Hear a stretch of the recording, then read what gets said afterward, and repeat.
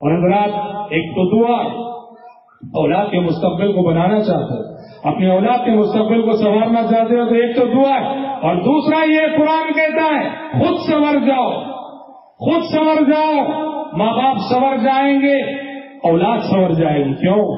اللہ، اس کائنات میں اللہ کے کچھ قانون ہیں۔ اس کائنات میں اللہ کے کچھ دستور ہیں۔ اور ان قوانین میں سے قانون یہ ہے، اولاد انسان کا اپنا عمل ہے۔ اولاد انسان کا اپنا عمل ہے۔ جو نیک ماں باپ ہوں گے، ان نیک ماں باپ کی نیکیوں کا اثر اولاد اپنی زندگی میں دیکھتی ہے۔ نیک ماں باپ کی نیکی کا اثر اولاد اپنی زندگی میں دیکھتی ہے۔ اللہ تعالیٰ نے بہت سو کو ترقی عطا کی، اس لیے ترقی عطا کی کہ ان کا باپ نیک تھا، ان کی ماں نیک تھی۔ حضرت موسا حفظر علیہ السلام کے واقعے میں آپ جانتے ہیں کہ ایک جو شہر سے ان دونوں کا گزر ہوا، دیوار گزر رہی تھی اور خضر علیہ السلام نے دیوار کو ہاتھ دے سہارا دے کے کھڑا کر دیا۔ اچھا وہ کیسے لوگوں کی بستی تھی؟ بخیلوں کی بستی تھی۔ موسا و خضر علیہ السلام جب وہاں سے گزرے تھے، کھانا مانگا تھا، ایک وقت کا کھانا کھلا دو۔ پوری بستی میں ایک شخص بھی ان کی مہمان نوازی کرنے والا نہ تھا۔ ایسے وکیلوں کی بستی تھی۔ اب علیہ السلام کو غصہ تھا کیسے وکیل لوگ ایک وقت کا کھانا انہوں نے مہمانوں کو نہیں کھلایا۔ اور ایسے بستی میں دیکھا کہ ایک گھر کی دیوار گر رہی ہے۔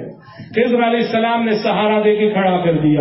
موسا علیہ السلام سوال کر بیٹھے، اعتراض کر بیٹھے کہ جنہوں نے ہمارے ساتھ احسان نہیں کیا، ہمیں بھی ان کے ساتھ احسان نہیں کرنا چاہیے تھا۔ اس دیوار کو گرنے تو دیتے۔ بعد میں خضر علیہ السلام نے جو خلاصہ کیا کیا کیا؟